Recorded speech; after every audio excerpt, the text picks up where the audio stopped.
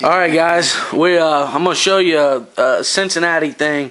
Well, actually, it's Newport Dixie Chili, and uh, I've told a bunch of people about this place. This is Dixie Chili's in Newport. Yeah, in Newport, but Cincinnati Chili. There's a bunch of places like this, but um, basically in, in Cincinnati we got a Coney, and then we also got three ways, four ways, and five ways. And people always think that like it's like a sexual thing, but it's it's not really.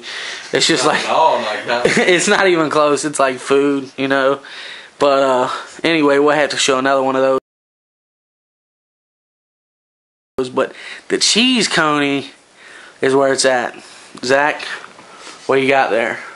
Well, pick one up, bro. I mean, you can't. Not you picking one up. Yeah, pick one up and take a bite, and then show like, bro. They they gotta know what's in there. You know what I mean? Oh, look at, oh, look at that. Let's zoom in there. Oh yeah, babe. Greatness. Oh, that is delicious.